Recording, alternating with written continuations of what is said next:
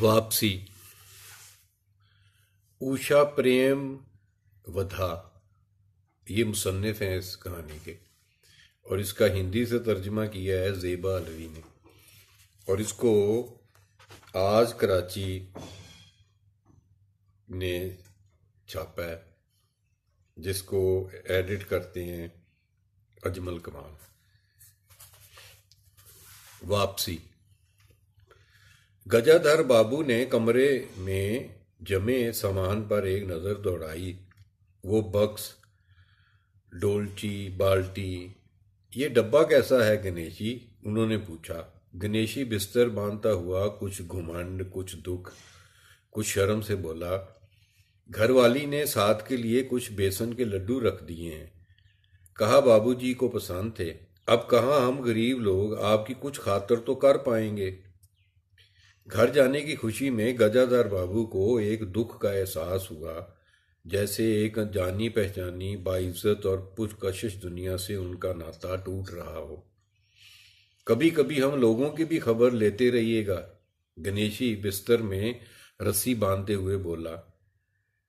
کبھی کچھ ضرورت ہو تو لکھنا گنیشی، اس اگن تک بٹیا کی شادی کر دو۔ گنیشی نے انگوچھے کے کنارے سے آنکھیں پوچھی اب آپ لوگ سہارا نہ دیں گے تو کون دے گا؟ آپ یہاں رہتے تو بیاہ میں کچھ حوصلہ رہتا۔ گجا دھر بابو چلنے کو تیار بیٹھے تھے۔ ریلوے کوارٹر کا یہ کمرہ جس میں انہوں نے کتنے سال بتائے تھے، بدصورت اور ننگا لگ رہا تھا۔ سامان کے سمٹ جانے کے۔ آنگن میں بوئے پودے بھی جان پہچان کے لوگ لے گئے تھے اور جگہ جگہ مٹی بکھری پڑی تھی۔ مگر بیوی بچوں کے ساتھ رہنے کے خیال سے یہ دکھ کی ایک کمزور لہر اٹھ کر گم ہو جاتی تھی۔ گجادار بابو خوش تھے، بہت خوش۔ پینتیس سال کی نوکری کے بعد وہ ریٹائر ہو کر جا رہے تھے۔ ان برسوں میں زیادہ تر وقت انہوں نے اکیلے رہ کر کاٹا۔ ان اکیلے لمحوں میں وہ اسی وقت کا تصور کرتے رہے۔ کہ جب وہ اپنے گھر والوں کے ساتھ رہ سکیں گے، اسی امید کے سہارے وہ اپنی محرومیوں کا بوجھ ڈھوتے رہے۔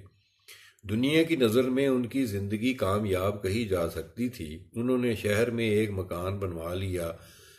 بڑے لڑکے امر اور بڑی لڑکی کانتی کی شادیاں کر دیں۔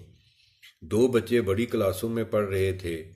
گجا دھر بابو نوکری کی وجہ سے اکثر اسٹیشنوں پر رہے اور ان کی بیوی بچے شہر میں تاکہ پڑھائی میں رکاوٹ نہ رہے۔ گجا دھر بابو سبھاؤ میں بڑے با محبت آدمی تھے اور محبت کے بھوکے بھی۔ جب بیوی بچے ساتھ تھے تو ڈیوٹی سے لوٹ کر بچوں سے ہنستے، بولتے، بیوی سے کچھ ہنسی مذاق کرتے۔ ان کے چلے جانے سے گجا دھر بابو کی زندگی میں بڑا سونا پن آ گیا تھا۔ وہ خالی وقت میں ان سے گھر میں ٹکا نہ جاتا۔ شاعری کا مذاق نہ رکھنے پر بھی انہیں بیوی کی پیار بھری باتیں یاد آتی رہتی۔ دوپہر میں گرمی ہونے پر بھی وہ دو بجے تک آنکھ جلائے رکھتی اور ان کے اسٹیشن سے لوٹنے پر گرم گرم روٹیاں سینکتی۔ ان کے کھا چکنے کے بعد بھی، منع کرنے کے باوجود ان کی تھالی میں اور کھانا ڈالتی اور ان سے بڑے پیار سے اصرار کرتی۔ جب وہ تھکے ہارے باہر سے آتے تو ان کی آہٹ پا کر وہ رسوئی کے دروازے پر آ کھڑی ہوتی اور اس کی شرمیلی آنکھیں مسکرا اٹھتی۔ گجا در بابو کو تب ہر چھوٹی بات بھی یاد آتی اور وہ اداس ہو جاتے۔ اب کتنے برس بعد وہ موقع آ رہا تھا کہ وہ اس پیار بھرے ماحول میں رہنے جا رہے تھے۔ ٹوپی اتار کے گجا در بابو نے چار پائی رکھ پر رکھ دی۔ جوتے کھول کر نیچے کھسکا دیے۔ اندر سے رہ رہ کر کہہ کہوں کی آواز آ رہی تھی۔ اتوار کا دن تھا اور ان کے سب بچے اکٹھے ہو کر ناشتہ کر رہے تھے۔ گجادار بابو کے خشک چہرے پر مسکراہٹ پھیل گئی اور اسی طرح مسکراتے ہوئے وہ بغیر کھنکارے اندر چلے آئے۔ انہوں نے دیکھا کہ نریندر پچھلی رات کو دیکھی کسی فلم کے ناچ کی نقل کمر پر ہاتھ رکھے کر رہا تھا۔ اور بسنتی ہنس ہنس کر دوری ہوتی جا رہی تھی۔ امر کی دلہن کو اپنے تن بدن گھونگٹ کسی چیز کا ہوش نہیں تھا اور وہ بھی بے تحاشا ہنس رہی تھی۔ گجادار بابو کو دیکھتے ہی نریندر دھپ سے بیٹھ گیا اور چائے کا پیالہ اٹھا کر منہ سے لگا لیا۔ بہو کو ہوش آیا اور اس نے جھٹ سے ماتھا ڈھانک لیا۔ صرف بسنتی کا جسم رہ رہ کر ہنسی دبانے کی کوشش میں ہل رہا تھا۔ گجادار بابو نے مسکراتے ہوئے ان لوگوں کو دیکھا، پھر کہا، کیوں نریندر کیا نقل ہو رہی تھی؟ کچھ نہیں بابو جی. نریندر نے سٹ پٹاتے ہوئے کہا گجادار بابو نے چاہا تھا کہ وہ بھی اس ہنسی مذاق میں شامل ہوتے، مگر ان کے آتے ہی سب چپ ہو گئے۔ اس سے ان کے دل میں تھوڑی سی مایوسی آ گئی۔ بیٹھتے ہوئے بولے، بسنتی، مجھے بھی چائے دینا۔ تمہاری اماں کی پوجا ابھی چل رہی ہے کیا؟ بسنتی نے ماں کی کوٹری کی طرف دیکھتے ہوئے کہا، ابھی آتی ہی ہوگی۔ اور پیالے میں ان کے لیے چائے بنانے لگی۔ بہو چپ چاپ پہلے ہی چلی گئی تھی۔ اب نریندر بھی چائے کا آخری گھونٹ پی کر اٹھ کھڑا ہوا۔ صرف بسنتی باپ کے لحاظ میں چوکے پر بیٹھی ماں کی راہ دیکھنے لگی۔ گجادار بابو نے ایک گھونٹ چائے پی، پھر کہا، بیٹے، چائے تو پیکی ہے۔ لائیے چینی اور ڈال دو۔ بسنتی نے کہا، رہنے دو، تمہاری ماں جب آئے گی تو تبھی پی لوں گا۔ تھوڑی دیر میں ان کی بیوی ایک لٹیا میں پانی لیے نکلی اور پوجا کرتے ہوئے اسے تلسی کے پودے میں ڈال دیا۔ پھر دیکھتے ہی بسنتی، انہیں دیکھتے ہی بسنتی بھی اٹھ کھڑی ہوئی۔ بیوی نے آ کر گجادر بابو کو دیکھا اور کہا، ارے، آپ اکیلے بیٹھے ہیں، یہ سب کہاں گئے؟ گجادر بابو کے دل میں پھانس سی چپی اپنے اپنے کام میں لگ گئے ہیں، آخر بچے ہی ہیں۔ بیوی آ کر چوکے میں بیٹھ گئی، انہوں نے ناک منہ چڑھا کر چاروں طرف بکھرے جھوٹے برتنوں کو دیکھا، پھر بولی، سارے میں جھوٹے برتن پڑے ہیں، اس گھر میں کرم دھرم کچھ نہیں۔ یہ سب کہاں گئے؟ پوجا کر کے سیدھے چوکے میں گھسو۔ پھر انہوں نے نوکر کو پکارا، جب جواب نہ ملا تو ایک بار اور زور سے آواز دی، پھر شوہر کی طرف دیکھ کر بولی بہو نے بھیجا ہوگا بازار۔ ایک اور لمبی سانس لے کر چپ ہو رہی۔ گجادر بابو بیٹھ کر چائے اور ناشتے کا انتظار کرنے لگے۔ انہیں اچانک گنیشی کی یاد آ گئی۔ روز صبح پسنجر آنے سے پہلے وہ گرم گرم پوڑیاں اور جلیبی بناتا تھا۔ گجادر بابو جب تک اٹھ کر تیار ہوتے، ان کے لیے جلیبیاں اور چائے لا کر رکھ دیتا تھا۔ چائے بھی کتنی بڑھیا کانچ کے گلاس میں اوپر تک لبا لب بھری، پورے ڈھائی چمچ چینی اور گاڑی ملائی۔ ٹرین بھلے ہی رانی پور پہنچے۔ گنیشی نے چائے پہنچانے میں کبھی دیر نہیں کی۔ کیا مجال کہ اس سے کبھی کچھ کہنا پڑے۔ بیوی کی شکایت بھری آواز سن کر انہیں دھکا سا لگا۔ وہ کہہ رہی تھی، سارا دن اسی کھچ کھچ میں نکل جاتا ہے۔ اس گھرستی کا دھندا پیٹتے پیٹتے عمر گئی، بیت گئی۔ کوئی ذرا ہاتھ بھی نہیں بٹاتا۔ بہو کیا کرتی ہے؟ گجادر بابو نے پوچھا۔ پڑی رہتی ہے۔ بسنتی کو تو پھر کہو، کالج جانا ہوتا ہے۔ گجادر بابو نے جوش میں آ کر بسنتی کو آواز دی۔ بسنتی بھابھی کے کمرے سے نکلی اور گجادر بابو نے کہا، بسنتی، آج شام کا کھانا بنانے کی ذمہ داری تمہاری ہے۔ صبح کا کھانا تمہاری بھابھی بھی بنائے گی۔ بسنتی منہ لٹکا کر بولی، بابو جی پڑھنا بھی تو ہوتا ہے۔ گجادر بابو نے پیار سے سمجھایا، تم صبح پڑھ لیا کرو، تمہاری ماں بوڑھی ہے، اس کے جسم میں اب طاقت نہیں ہے۔ تم ہو، تمہاری بھابھی ہے، دونوں کام میں ہاتھ بٹایا کرو۔ بسنتی چپ رہی۔ اس کے جانے کے بعد اس کی ماں نے دھیرے سے کہا، پڑھنے کا تو بہانہ ہے۔ کبھی جی ہی نہیں لگتا۔ لگے کیسے؟ شیلا ہی سے فرصت نہیں۔ بڑے بڑے لڑکے ہیں ان کے گھر میں۔ ہر وقت وہاں گھسے رہنا مجھے نہیں بھاتا۔ منع کرو تو سنتی ہی نہیں۔ ناشتہ کر کے گجادار بابو بیٹھک میں چلے گئے۔ گھر چھوٹا تھا اور سیٹنگ کچھ ایسی ہو چکی تھی کہ اس میں گجادار بابو کے لیے کوئی جگہ نہ تھی۔ جیسے کسی مہمان کے لیے وقتی طور پر کوئی بندوبست کر دیا جاتا ہے، اسی طرح بیٹھک میں کرسیوں کو دیوار سے ٹکا کر ان کے لیے پتلی سی چار پائی ڈال دی گئی تھی۔ گجادار بابو اس کمرے میں پڑے پڑے کبھی اپنے آپ ہی اس وقتی بندوبست پر غور کرتے۔ انہیں یاد آتی ان گاڑیوں کی جو آتی اور تھوڑی دیر رک کر کسی اور مقام کی طرف بڑھ جاتی۔ گھر چھوٹا ہونے کی وجہ سے بیٹھک ہی میں اپنا انتظام کیا تھا۔ ان کی بیوی کے پاس ضرور ایک چھوٹا سا کمرہ تھا، پر وہ ایک طرف اچار کے مرتبانوں، دال، چاول کے کنستروں اور گھی کے ڈبوں میں گھرا ہوا تھا۔ دوسری طرف پرانی رضائیاں دریوں میں لپٹی اور رسیوں میں بندی رکھی تھی۔ ان کے پاس ایک بڑے سے ٹین کے بکس میں گھر بھر کے کپڑے، گرم کپڑے رکھے تھے۔ بیچ میں ایک النگنی بندی ہوئی تھی، جس پر زیادہ تر بسنتی کے کپڑے بے ترتیبی سے ٹنگے تھے۔ وہ جان بوجھ کر اس کمرے میں جانے سے بچتے تھے۔ گھر کا دوسرا کمرہ امر اور اس کی بیوی کے پاس تھا۔ تیسرا کمرہ جو سامنے کی طرف تھا، بیٹھک تھا۔ کرسیوں پر نیلی گدیاں اور بہو کے ہاتھ کے کاڑے کشن پڑے تھے۔ جب بھی ان کی بیوی کو کوئی لمبی شکایت کرنی ہوتی تو وہ اپنی چٹائی بیٹھک میں ڈال پڑ جاتی تھی۔ ایک دن وہ چٹائی لے کر آ گئی۔ گجادار بابو نے گھر گرستی کی باتیں چھیڑی۔ وہ گھر کا سبھاؤ دیکھ رہے تھے۔ بہت ہلکے سے انہوں نے کہا، اب ہاتھ میں پیسہ کم رہے گا۔ کچھ خرچ کم ہونا چاہیے۔ سبھی خرچ تو واجب واجب ہے۔ کس کا پیٹ کاٹوں؟ یہی جوڑ گانٹ کرتے کرتے بری ہو گئی۔ نہ بھر من بھر پہنا نہ اوڑا گجادر بابو نے زخمی اور دکھی نگاہوں سے بیوی کو دیکھا ان سے اپنی حیثیت چھپی نہ تھی ان کی بیوی تنگی کا رونا روتی یہ فطری بات تھی لیکن ان کے لہجے میں چھپے طنز کا احساس گجادر بابو کو بہت چبا ان سے اگر اس مسئلے پر بات کی جاتی کہ گھر کا انتظام کیسا چلے، کیسے پورا ہو، تو شاید انہیں کچھ سکون ملتا۔ لیکن ان سے صرف شکایت ہی کی جاتی، جیسے کنبے کی سارے پریشانیوں کی وجہ کہ وہی ذمہ دار ہوں۔ تمہیں کس بات کی کمی ہے؟ امر کی ماں۔ گھر میں بہو ہے، لڑکے بچے ہیں، صرف روپے ہی آدمی روپے سے ہی آدمی امیر نہیں ہوتا۔ گجادر بابو نے کہا اور کہنے کے ساتھ ہی اندازہ لگایا کہ یہ محض ان کی اندر کی سوچ ہے، ایسی کہ ان کی بیوی نہیں سمجھ سکتی۔ ہاں بڑا سکھ ہے، بہو سے ہے، بہو سے۔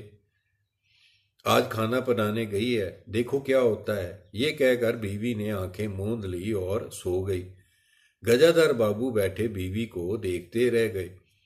کیا یہی تھی ان کی بیوی جس کے نرم ہاتھوں کے لمس جس کی مسکراہٹ کی یاد میں انہوں نے زندگی کاٹتی تھی؟ انہیں لگا کہ وہ خوبصورت دوشیزہ زندگی کی راہ میں کہیں گم ہو گئی ہے اور اس کی جگہ آج وہ عورت ہے جو ان کے دل اور روح کے لیے یکسر اجنبی ہے۔ گہری نیند میں سوئی سوئی ہوئی عورت کا جسم ایک دم بے ڈول اور بھدا لگ رہا تھا۔ چہرہ ستا ہوا اور بے رونق سا۔ گجادر بابو ایک پلک بیوی کو دیکھتے رہ گئے اور پھر لیٹ کر چھت کی طرف تاکنے لگے۔ اندر کچھ گرا اور ان کی بیوی ہڑبڑا کر اٹھ بیٹھی۔ لو، بلی نے کچھ گرا دیا شاید۔ وہ اندر بھاگی۔ تھوڑی دیر میں لوٹ کر آئی تو ان کا منہ پھولا ہوا تھا۔ دیکھا بہو کو۔ رسوئی کھلی چھوڑ آئی۔ بلی نے دال کی پتیلی گرا دی۔ سبھی تو کھانے کو ہیں۔ اب کیا کھلاؤں گی؟ وہ سانس لینے کو رکی اور بولی ایک ترکاری اور چار پراٹھے بنانے میں سارا ڈبہ گھی انڈیل کر رکھ دیا۔ ذرا بھی درد نہیں ہے۔ کمانے والے ہڈیاں توڑے اور یہاں چیزیں لٹیں مجھے تو معلوم تھا کہ یہ سب کام کسی کے بس کا نہیں۔ گجادر بابو کو لگا کہ بیوی اور کچھ بولے گی تو کان جھنجھنا اٹھیں گے۔ ہونٹ بھینچ کر کروٹ لی۔ انہوں نے پیٹھ بیوی کی طرف کر لی۔ رات کا کھانا تو بسنتی نے جان بوجھ کر ایسا بنایا تھا کہ ایک نوالا حلق سے نہ اترے۔ گجادر بابو چپ چاپ کھا کر اٹھ گئے، پر نریندر تھالی سرکا کر اٹھ کھڑا ہوا اور بولا، میں ایسا کھانا نہیں کھا سکتا۔ بسنتی تنک کر بولی، تو نہ کھاؤ، کون تمہاری خوشامد کرتا ہے؟ تم سے کھانا بنانے کو کہا کس نے تھا؟ نریندر چلایا۔ بابو جی نے بابو جی کو بیٹھے بیٹھے یہی سوچتا ہے۔ بسنتی کو اٹھا کر ماں نے نریندر کو منایا اور اپنے ہاتھ سے اسے کچھ بنا کر کھلایا۔ گجادر بابو نے بعد میں بیوی سے کہا، اتنی بڑی لڑکی ہو گئی ہے اور اسے کھانا بنانے کا ڈھنگ نہیں آتا۔ ارے، آتا تو سب کچھ ہے، کرنا نہیں چاہتی۔ بیوی نے جواب دیا۔ اگلی شام ماں کو رسوئی میں دیکھ کر کپڑے بدل کر بسنتی باہر آئی اور بیٹھک سے گجادر بابو نے ٹوک دیا، کہاں جا رہی ہو؟ پڑوس میں، شیلا کے گھر۔ بسنتی نے کہا، کوئی ضرورت نہیں ہے اندر جا کر پڑھو۔ گجادر بابو نے ذرا سخت لہجے میں کہا، کچھ دیر تجزب میں کھڑی ہو کر بسنتی اندر چلی گئی۔ گجادر بابو ذرا ٹہلنے چلے جاتے تھے۔ لوٹ کر آئے تو بیوی نے کہا، کیا کہہ دیا بسنتی سے؟ شام سے منہ لپیٹے پڑی ہے، کھانا بھی نہیں کھایا۔ گجادر بابو جھنجھلا اٹھے۔ بیوی کی بات کا انہوں نے جواب نہیں دیا۔ انہوں نے دل میں طے کر لیا کہ بسنتی کی شادی جلد کر دینی چاہیے۔ اس دن کے بعد سے بسنتی باپ سے کٹی کٹی رہنے لگی۔ جانا ہوتا تو پچھواڑے سے جاتی۔ گجادر بابو نے ایک دو بار بیوی سے پوچھا، تو جواب ملا روٹھی ہوئی ہے۔ گجادر بابو کو غصہ آیا، لڑکی کے اتنے مزاج، جانے سے روک دیا تو باپ سے بولے گی نہیں۔ پھر ان کی بیوی نے خبر دی، امر الگ رہنے کی سوچ رہا ہے۔ کیوں؟ گجادار بابو نے حیرت سے پوچھا۔ بیوی نے کوئی صاف جواب نہیں دیا۔ امر اور اس کی بیوی کو بہت شکایتیں تھیں۔ ان کا کہنا تھا کہ گجادار بابو ہمیشہ بیٹھک میں پڑے رہتے ہیں۔ کوئی آنے جانے والا ہو تو کہیں بٹھانے کی جگہ نہیں۔ امر کو اب بھی وہ چھوٹا سمجھتے تھے اور موقع بے موقع ٹوک دیتے تھے۔ بہو کو کام کرنا پڑتا تھا اور ساس جب تب پھوڑ پن کے تانے دیا کرتی تھی۔ ہمارے آنے سے پہلے بھی کبھی کوئی ایسی بات ہوئی تھی؟ گجادار بابو نے بیوی سے پوچھا۔ بیوی نے سر ہلا کر بتایا کہ نہیں۔ پہلے امر گھر کا مالک بن کے رہتا تھا، بہو کو کوئی روک ٹوک نہ تھی۔ امر کے دوستوں کا اکثر ہی اڈا جمع رہتا تھا اور اندر سے چائے ناشتہ تیار ہو کر جاتا رہتا تھا۔ بسنتی کو بھی وہی اچھا لگتا تھا۔ گجادار بابو نے دھیرے سے کہا، امر سے کہو، جلدی جلد بازی کی ضرورت نہیں ہے۔ اگلے دن وہ لوٹ کر آئے تو انہوں نے دیکھا کہ بیٹھک میں ان کی چار بائی نہیں ہے۔ اندر جا کر پوچھنے ہی والے تھے کہ ان کی نظر رسوئی میں بیٹھی بیوی پر پڑی۔ انہوں نے یہ پوچھنے کو منہ کھولا کہ بہو کہاں ہے۔ پھر کچھ یاد کر کے چپ ہو گئے۔ بیوی کی کوٹری میں جھانکا تو اچار، رضائیوں اور کنسروں کے بیچ اپنی چار پائی لگی پائی۔ گجادر بابو نے کوٹ اتارا اور ٹانگنے کے لیے دیوار پر نظر دوڑائی۔ پھر اسے موڑ کر الگنی کے کچھ کپڑے کھسکا کر ایک کنارے پر ٹانک دیا۔ کچھ کھائے بغیر ہی اپنی چارپائی پر لیٹ گئے۔ کچھ بھی ہو، تن آہر بوڑھا ہی تھا۔ صبح شام کچھ دیر ٹہلنے ضرور چلے جاتے تھے، پر آتے آتے تھک جاتے تھے۔ گجادار بابو کو اپنا بڑا سا کھلا کوارٹر یاد آیا۔ بے فکر زندگی۔ صبح پسنجر ٹرین آنے پر اسٹیشن کی چہل پہل، جانے انجانے چہرے اور پٹڑی پر ریل کے پہیوں کی کھٹ پٹ۔ کھٹ کھٹ، جو ان کے لیے مدھر سنگیت کی طرح تھی۔ طوفان اور ڈاک گاڑی کے انجنوں کی چنگھاڑ ان کی اکیلی راتوں کی ساتھی تھی۔ سیٹھ رام جی مل کی مل کے کچھ لوگ کبھی ان کے پاس آ بیٹھتے تھے۔ وہی ان کا ہلکا تھا، وہی ان کے ساتھی تھے۔ وہ زندگی اب انہیں ایک کھوئی ہوئی دولت معلوم ہوتی۔ انہیں لگا کہ وہ زندگی سے دھوکہ کھا گئے، ٹھگے گئے۔ انہیں جو کچھ چاہا اس میں سے ایک بوند بھی انہیں نہیں ملا۔ لیٹے ہوئے وہ گھر کے اندر سے آتی ہوئی مختلف آوازیں سنتے رہے۔ بہو اور ساس کی چھوٹی موٹی جڑپ بالٹی پر کھلے نل کی آواز، رسوئی کے برتنوں کی کھٹ پٹ، اور اسی میں اور اچانک ہی انہوں نے ارادہ کر دیا کہ اب گھر کے کسی معاملے میں دخل نہیں دیں گے۔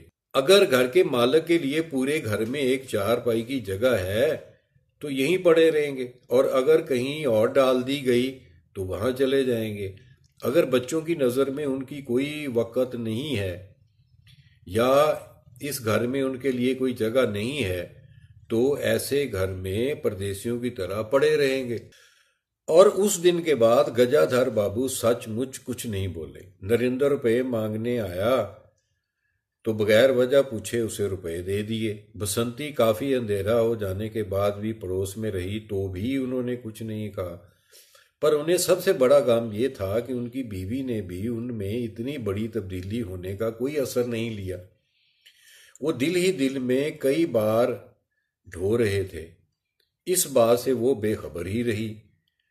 بلکہ انہیں شوہر کے گھر کے معاملات میں دخل اندازی نہ کرنے سے ایک طرح سکون ہی تھا۔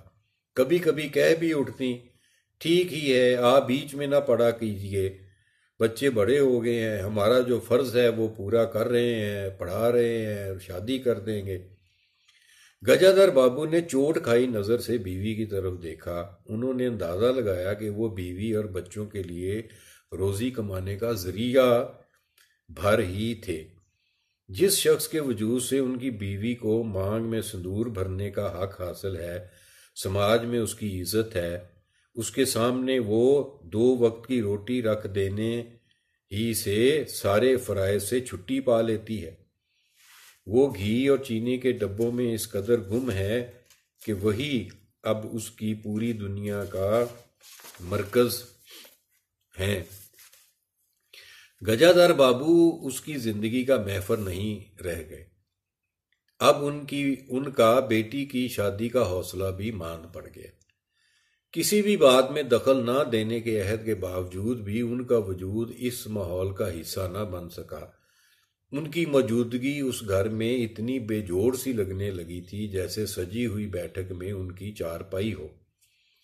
ان کی ساری خوشی ایک گہری مایوسی میں ڈوب گئی۔ اتنے سب ارادوں کے باوجود ایک دن بیچ میں دخل دے بیٹھے۔ بیوی اپنی عادت کے مطابق نوکر کا گلا شکوا کر رہی تھی۔ کتنا کام چور ہے، سودے میں سے پیسے بھی کاٹتا ہے، کھانے پر بیٹھے تو کھاتا ہی چلا جاتا ہے۔ گجادار بابو کو برابر یہ محسوس ہوتا کہ ان کے گھر کا خرچ ان کی حیثیت سے کہیں زیادہ ہے۔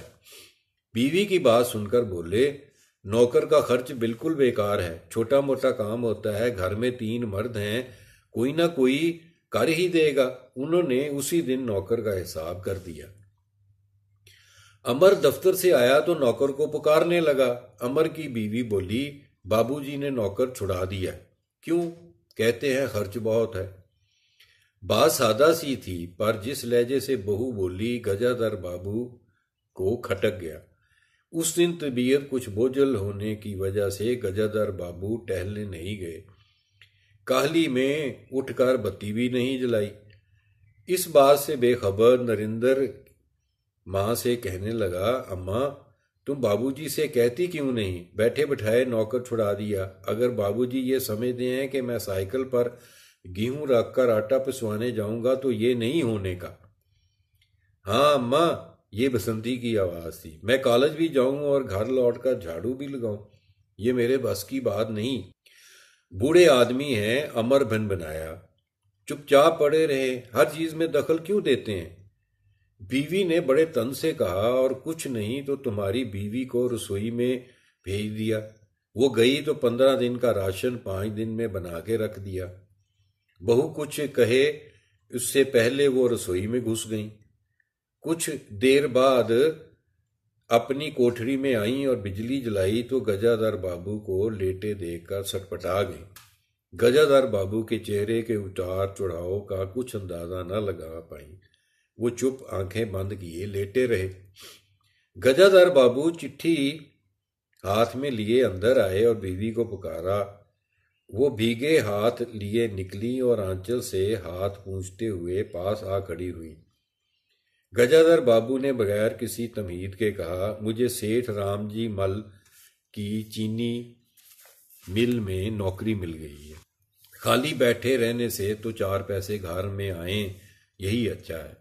انہوں نے پہلے ہی کہا تھا، مگر میں نے ہی انکار کر دیا تھا۔ پھر کچھ رک کر جیسے بجھی ہوئی آنکھ، آگ میں کوئی چنگاری چمک اٹھے، انہوں نے دھیمے لہجے میں کہا میں نے سوچا تھا کہ برسوں تم لوگوں سے الگ رہنے کے بعد ریٹائرمنٹ پا کر کنبے کے ساتھ رہوں گا۔ خیر، پرسوں جانا ہے، تم بھی چلو گی۔ میں بیوی نے ہڑبڑا کر کہا، میں چلی جاؤں گی تو یہاں کا کیا ہوگا؟ اتنی بڑی گرستی، پھر سیانی لڑکی۔ بات بیچ میں کٹ گئی۔ گجادر بابو نے تھکی ہوئی آواز میں کہا، ٹھیک ہے، تم یہیں رہو۔ میں نے تو ایسے ہی کہا تھا اور گہری خاموشی میں ڈوب گئے۔ نریندر نے بڑی مستعدی سے بستر باندھا اور رکشا بلوا دیا۔ گجادر بابو کا ٹین کا بکس اور پتلا سا بستر اس پر رکھ دیا۔ ناشتے کے لیے لڈو اور مٹھڑی کی ڈلیاں ہاتھ میں لیے گجادر بابو رکشا پر بیٹھ گئے۔ ایک طرف ایک نظر انہوں نے اپنے کنبے پر ڈالی، پھر دوسری طرف دیکھنے لگے اور رکشا چل پڑا۔ ان کے جانے کے بعد سب اندر لوٹ گئے۔ بہو نے امر سے کہا، سینما، لے چلیے گا نا؟ بسنتی نے اچھل کر کہا، بھیا، ہمیں بھی۔ گجادار بابو کی بیوی سیدھے رسوئی میں چلی گئی۔ بچی ہوئی چیزوں کو کوڑا کٹور دان میں ڈال کر اپنی کوٹھنی میں لائیں اور کنستروں کے پاس رکھ دیا۔ پھر باہر آ کر کہا، ارے نریندر بابو جی کی چارپائی نکال دے، اس میں چلنے تک کی کوئی جگہ نہیں ہے.